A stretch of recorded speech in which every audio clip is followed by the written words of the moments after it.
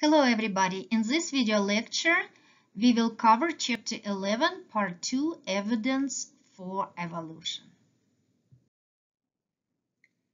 So evidence for evolution comes from many different areas of biology and we will discuss some of this evidence. But before we begin, um, I want to just make sure what exactly, what claim exactly we want to support. Evolution tell us, well, if you put it very, very simple, that evolution tell us pretty, pretty much two things. And the first thing is that life on our planet is changing over time, right? And uh, life is changing means life is evolving.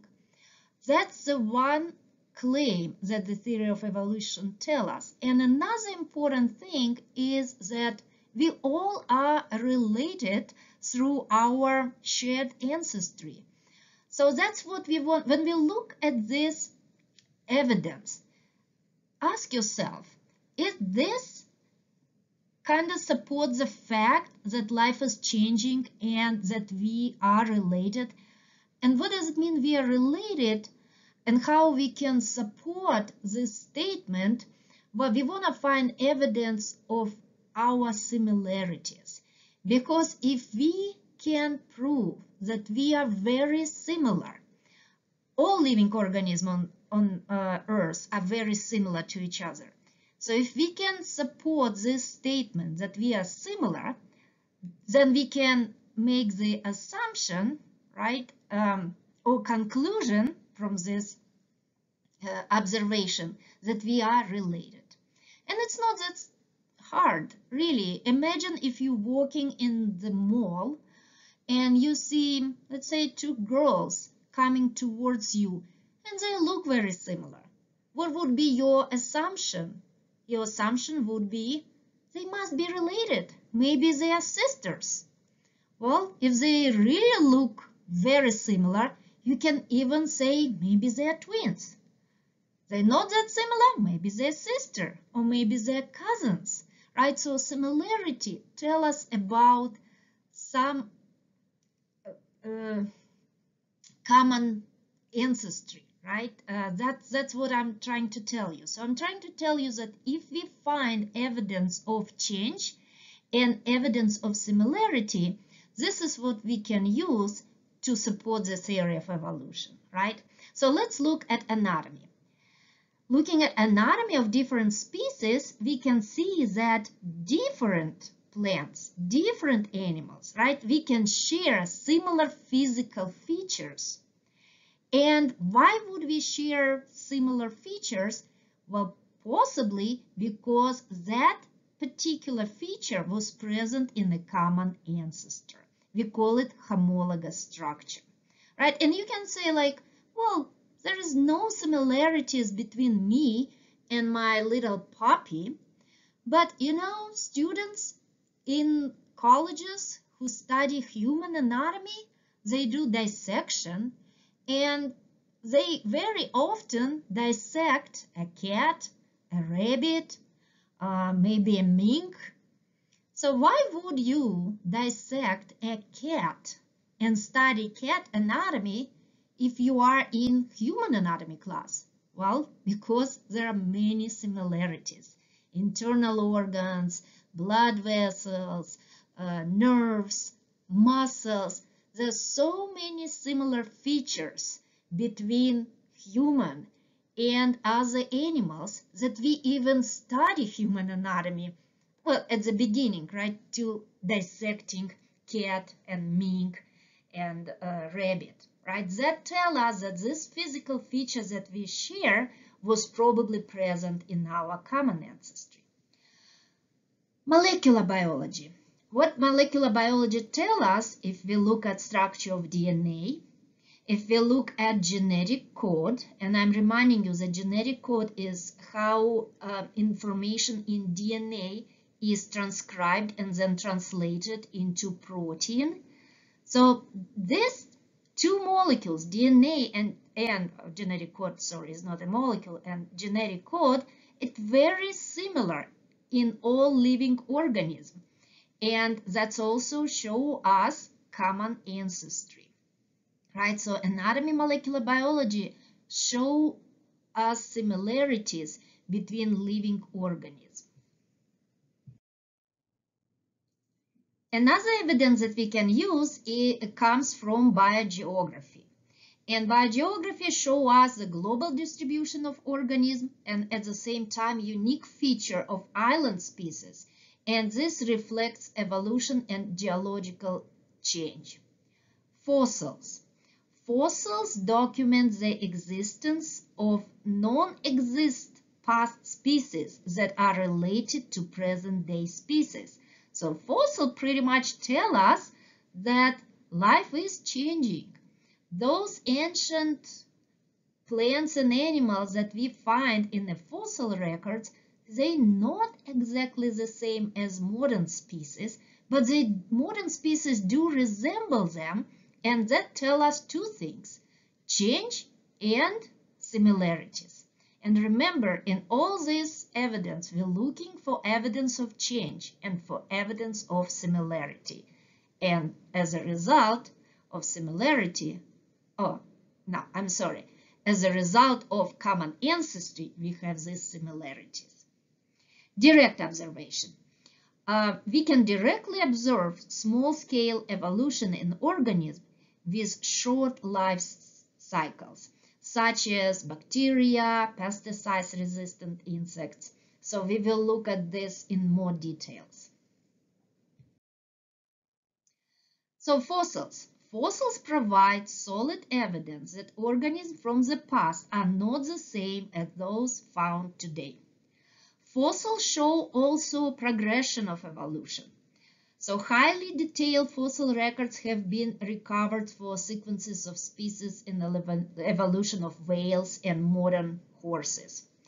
And we also have what is called transitional fossils, those that show intermediate anatomy between earlier and later forms. So here's the fossil records of the horse evolution and we can go back uh, to 55, 45 million years ago when the first fossils was found and you can see this gradual progression of change within um, horse species. Um, another well-studied um, fossil records are found in evolution of the dolphins. So you can see um, Ambulocetus, so that's this animal over here. And um, we believe it's lived about 50 million years ago. The first fossils were discovered in Pakistan in 1992. And this is reconstruction of how this animal would look like based on the fossil records. Uh, now, Dorudon, um, that's the animal that lived about 30 and 40 million years ago, and fossils have been found in North America, Egypt, as well as Pakistan, and this is reconstruction. So you see how the body over here, how the body is changing, and um, the um, modern dolphins that do not have legs, right? We can trace their evolution back to the quadruped animal. And then we see reduction in uh, front and back limbs over here. Um, so if you ask me, well, do we have enough fossils? Uh, would we like to have more? Yeah, we don't have enough fossils probably, and we would love to have fossils that would explain us every single change that we can see in a living organism today. But we don't. But that's not the most important thing about fossils. The most important thing about fossils that fossils show us the progression of evolution. Fossils in older layers are more primitive than those in the upper layers. So if you look at the fossils of animals without backbones, right? They predate vertebrates. Amphibians appears after fish. Mammals appears after reptiles. and no complex life occurs in rock nearly as old as those containing the oldest fossil of bacteria. Um, and extinct fossils resemble modern animals. That's what we call transitional species. These show common ancestry. So if we look at this um, diagram here, and we relate this information to our fossil records, so if we have, let's say, if we have fossils that we can date 564 million years old, in a fossil that old, we should not find any mammals uh, or any birds or let's say any plants that have flowers because at that time this organism did not exist, right? So if we take, if we go up and let's say we find fossil dating this time, right, about 360 to 184 million years ago, right? Again, we know that that's when we have uh, appearance of amphibians, right, and gymnosperms. So again, in these fossils, we should not see any remains of human, for example, because they just did not exist at that time. So did we find enough fossils? Maybe not. But did we find fossils that contradict our hypothesis about this type of events? No, we didn't find any fossils that would contradict the theory of evolution. So fossils are in a sequence and that's what important. Um, anatomy and embryology. Remember we mentioned that uh, evidence for evolution comes from different branches of biology and other um, science, right? So homology comes from anatomy. So homology is the similarity in structures due to common ancestry and illustrated by re remodeling of pattern of bones, forming the four limbs of mammals of, for different functions. So you can see here on the right. So evolution led to changes in the shape and sizes of these bones in different species, but they have maintained the same overall layout evidence of descent from a common ancestor. So if our hypothesis is that human dogs, bird, and whale. They all share the common ancestor, maybe the small mammal, right, that had uh, four legs, right, maybe some fur, uh, warm-blooded. So if you're looking at these common ancestors, some here, you know, deep in time, and we look at the um, pattern of the forelimbs, what we expect to see? We expect to see actually the same layout, the same bones. So we have like one bone, right here, one bone, one bone. Then we have two bones. Then we have small bones, and then we have phalanges. And um, that tell us that this structure was modified to serve specific function, but it was not created over over from the scratch. Because evolution is remodeling process. It's not building something new every single time. And that evidence shows us that that this is a remodeling of of, of these structures. Vestigial structure Vestigial structure are remnants of features that serve important function in an organism ancestor and now have only marginal, if any, importance. And um, there is also lots of, you know, um, talk about the vestigial structure. Um, some of them, we used to call them vestigial and we don't do it anymore, but it's normal. Science is never written in a stone. It's it's a process and we get new information, we get new data, new evidence, and we changing um, our perception, right? We cannot be arrogant. So, for example, we used to think that appendix was a vestigial structure, and now many scientists agree that it is not. But we still have some parts of the body in animals the best way to explain why they even exist is that they they were present in the ancestors, right? And then they just lost their importance. Let's say this is a whale and you can see this bones, that part of the pelvic bones. And pelvis is a structure that attach your uh, legs to your torso, right? Because whales, they don't have any legs. Why would they have these pelvic bones still present? So the explanation would be that whales um, are uh, the whales evolved from the terrestrial organisms that used to have their legs. Another example is the wisdom teeth that now has no important function in humans because our jaws became smaller.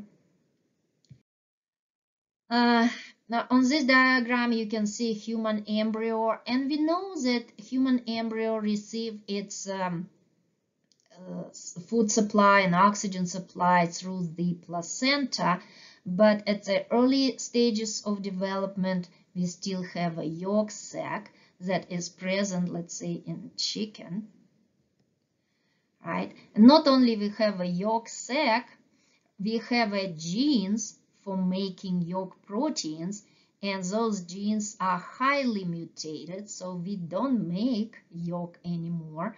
So why would we have genes for yolk production if we don't synthesize yolk?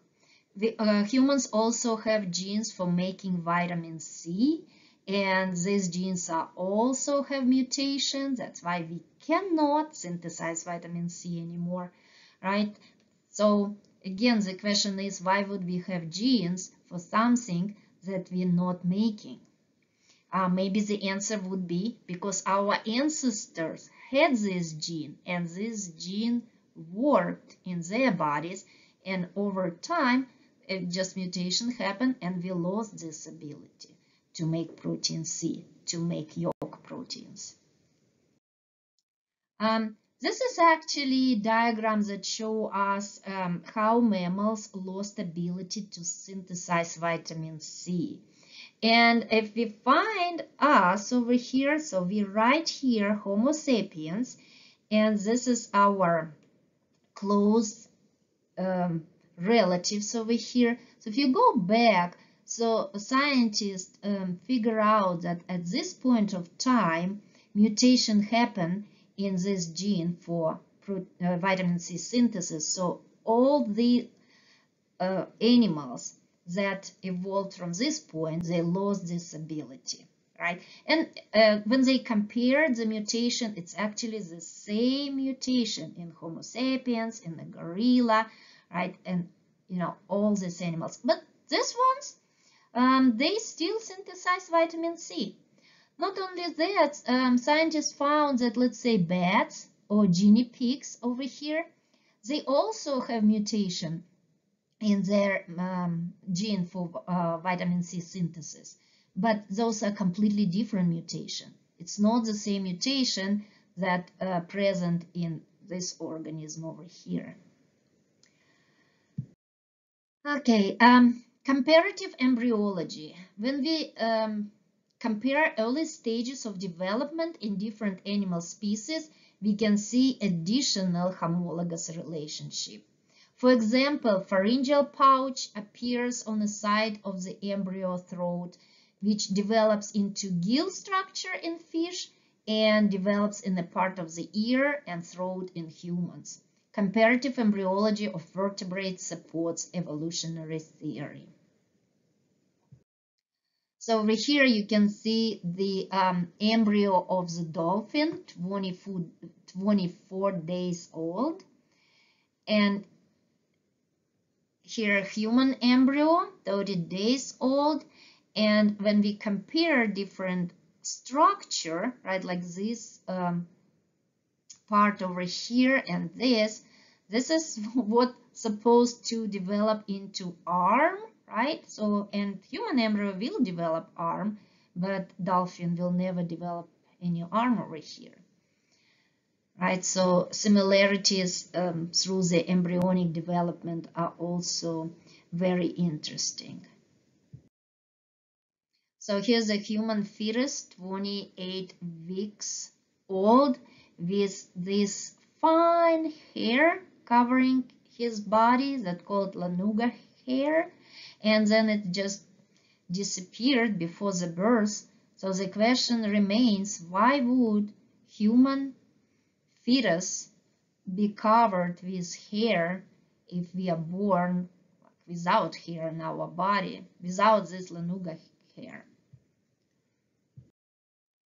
Um, uh, here's another interesting uh, example um, that can support the theory of evolution and specifically specifically common ancestry, number of chromosomes. Number of chromosomes in the great apes, you can see gorilla, chimpanzee, orangutan, they all have 48 chromosomes and human, they, we have 46.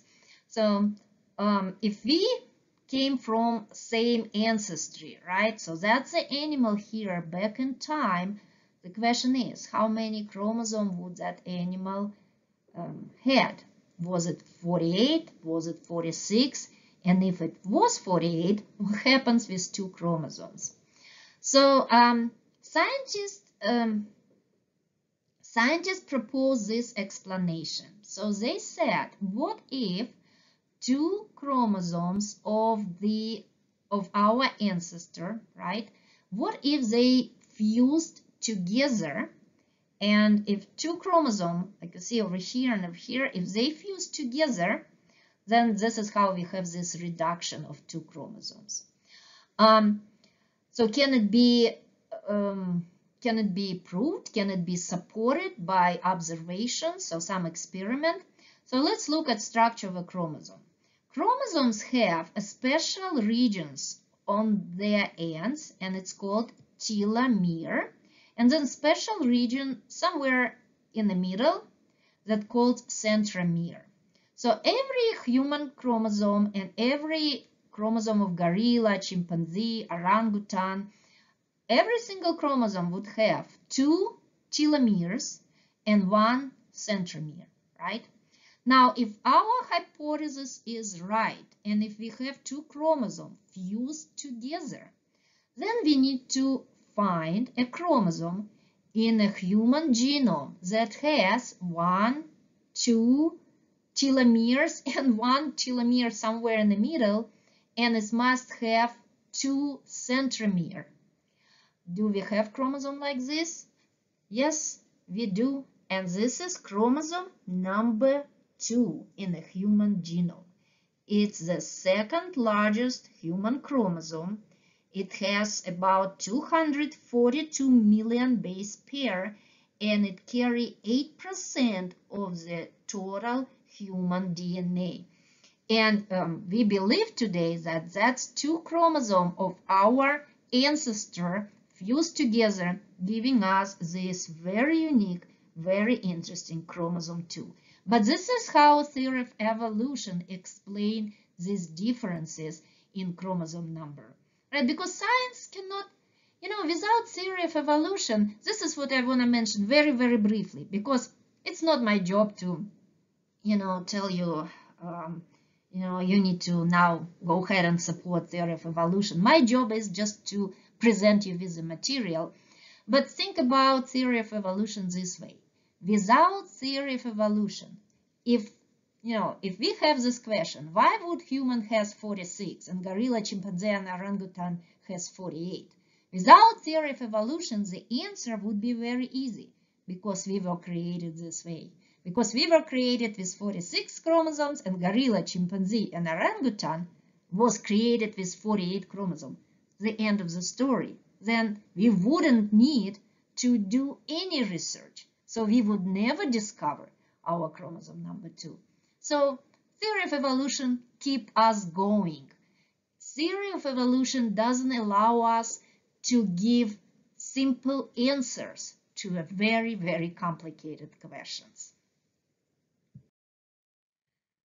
Okay, so molecular biology is a huge support in a theory of evolution. Structure of DNA was discovered, universal code was discovered, genes from one organism can replicate and function in another. DNA hybridization studies have found that the DNA of humans and chimpanzees are 98-99% identical. So over here we can see on this diagram we can see the uh, percent of uh, selected DNA sequences that match a chimpanzee's DNA and you can see in a human and chimpanzee we have huge similarities right? Over here about 90 98 percent. And then with the gorilla orangutan gibbon uh, old world monkeys there is still just amazing similarities in the DNA structure. And um, this is how it's done. You know the DNA is nucleic acid and it's made of nucleotides. So here's a mouse gene, PAX6, and because that's a gene, that's a part of DNA, so it has this nucleotide G, T, A, T, C, C, and so on, right? And then they um, take the same gene uh, in a fly, in a shark, in a squid, in a flatworm, and they compare them with this gene of the mouse. And what this gene does, it's responsible for uh, eye, eye control, right? So it's eye control gene. Um, fly eyeless gene even here was taken for comparison. And then they see like, okay, most of these sequences are the same. And then let's say over here, we have G, right? In the shark, eye control gene, and in the fly, we have A. So that's pretty much what? It's a point mutation. Just at some point, this nucleotide, right, was substituted with another one. And so you can see how many differences and similarities. So you can see that genetic similarities to mouse is 76.6, 85, 78, 72% almost. And you can see the protein similarities is 100%. Right, so these similarities in DNA tell us we're not that different. Right, fly and shark and squid and flatworm and mouse even they look very different. But what does it mean very different? You look at their uh, gene structure, not that different anymore. Biogeography. Remember we mentioned that biogeography is also evidence for evolution. So geographic distribution of organisms on the planet follow patterns that are best explained by evolution in conjunction with the movement of tectonic plates over geological time. So the scientists pretty much wonder why some species are found pretty much everywhere and some are very specific to you know some continent or to some area right that's that's why this biogeography is that important so broad groups that evolved before the break of the supercontinent Pangaea about 200 million years ago are distributed worldwide. Uh, worldwide. So um, if we're talking about species that evolved when our um, when we had this one huge supercontinent Pangaea, right? Then it's pretty much had this ability to move to all this area and when continents spread apart we see this pretty much distribution through the whole world. But the group that evolved since the breakup appears uniquely in regions of the planet right? So that's how biogeography explain why some species found almost on every continent and some are just unique to a specific part of the land. direct observation. So in the 1950s, there was a worldwide effort to eradicate malaria by eliminating its carrier, certain type of mosquitoes.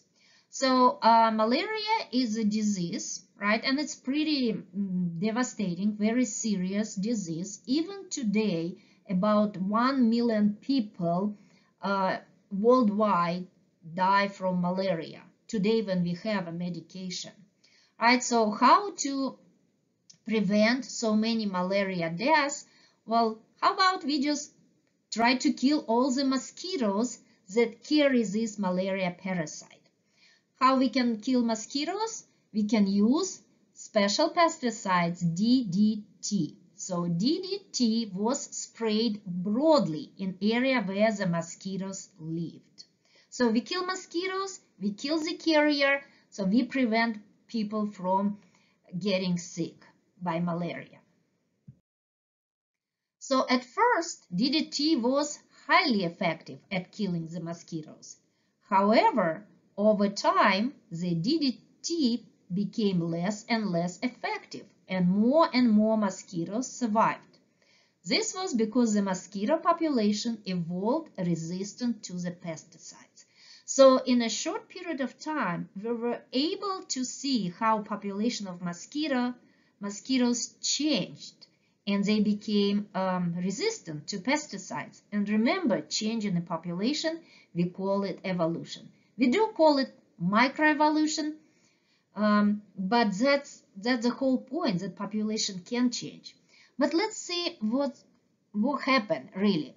So this is our original population even before pesticide was used.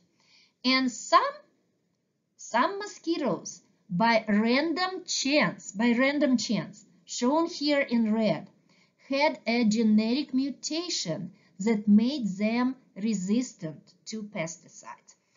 These mosquitoes never wanted this mutation. They didn't have this meeting, mosquitoes meeting, and like, okay, let's vote. We want to have this mutation just in case the pesticide is applied. So mosquitoes never wanted to have it. It was just random luck. Maybe this mosquito over here has some other mutation. Maybe it makes it resistant to, uh, I don't know, sunlight. We don't know that, right? because we need to apply this pesticide and pesticide is called selective pressure. So now if we apply this selective pressure, if we apply this pesticides, what it gonna do? It gonna kill most of the mosquitoes, but those that are resistant and they are resistant because of random mutation, they survive. And if they survive, they leave more offspring. So population over population over population. When we kill everyone who is not resistant, we end up with a population that has higher percentage of individual resistant to pesticides. Uh, pesticide, right? And this is how evolution works. We don't get what we want. Just some individuals are lucky enough to have it. And if, and if environment changes, and if selective pressure is present. Those lucky individuals with a mutation that allows them to survive this change in the environment. If they survive, they reproduce, they increase their genes in the next populations. And that's how we have pesticide resistant uh, mosquitoes and pests.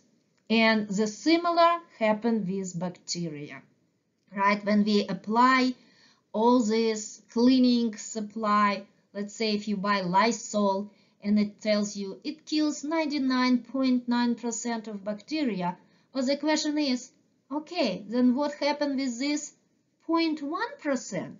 We don't kill them, so they will reproduce. That means we will see more and more resistant bacteria in next generations.